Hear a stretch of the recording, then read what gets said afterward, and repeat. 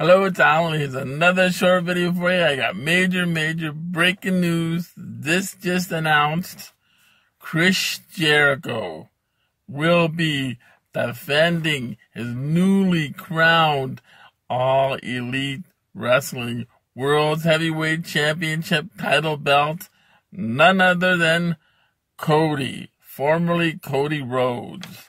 Yes, it will be at the Full Gear pay per view event in Saturday, November the 9th, bell time, 7 p.m. at the Royal Farms Arena.